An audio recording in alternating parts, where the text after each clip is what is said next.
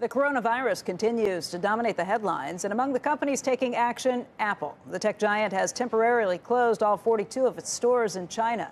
Joining us right now is Dan Ives. He's managing director at Wedbush Securities. And Dan, it's good to see you. Great to be here. Let, us talk about what this means. Uh, 42 stores, maybe not huge, but what, what is the impact for Apple? I mean, after we've seen Starbucks close over 2,000 stores and, and many other companies doing the same. Yeah, look, I think you got to differentiate between the headlines and the fundamental impact.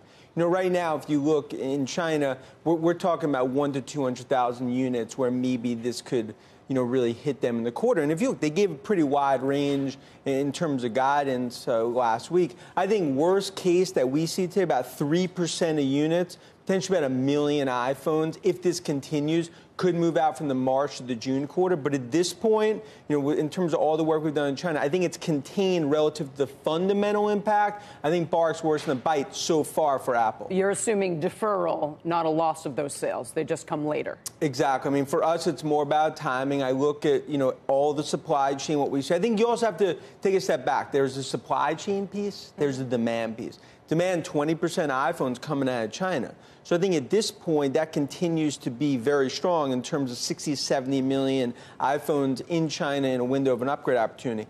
On the supply chain, if this goes into mid, late February, then this becomes a broader issue. It becomes a broader issue because if they can't get the components needed for the parts, they're not going to be able to keep up with demand, even with a with a drop in demand from China. That's exactly it. So I think the the demarcation line, what I view is so it's not we, the retail stores; it's what happens with the with supply chain and the factories. Well, exactly. Because on the retail, if you look, the vast majority in China is online. So right. from a retail perspective, big deal. But, but even though investors over the weekend a lot, you know, trying to understand the impact, it's still very small.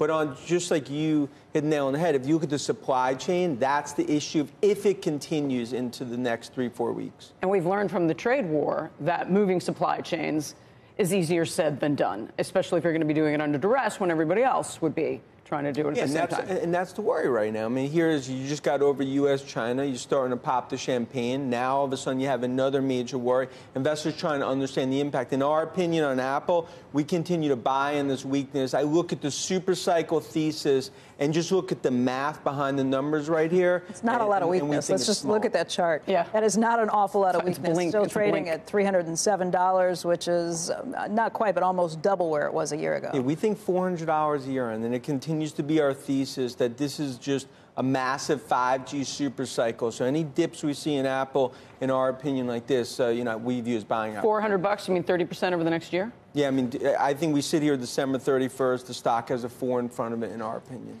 Uh, let, us talk about Uber. You've got a call out on that too. You you think the worst is over there, and you're actually adding it to one of your top picks. Yeah, this morning adding it to our top picks list and, and going to $50 price target. There will be a reporting later this week.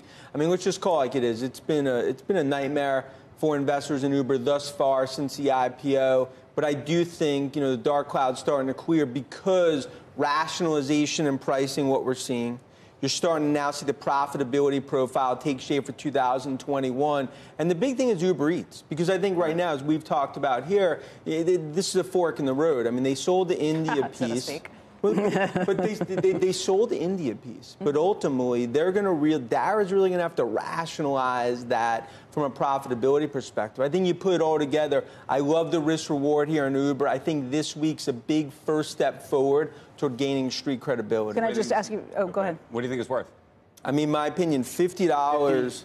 Fifty. How quickly? 12 months? Well, I think $50 by the end of this year. You and, think and, rationalizing, though, rationalizing Uber Eats means what? More sales, more places where the markets they back out of? I think if you look right now, the overhang between the Uber Eats, the lack of profitability, and AB5, the California legislation, that's about 10 to $12 overhang on the stock.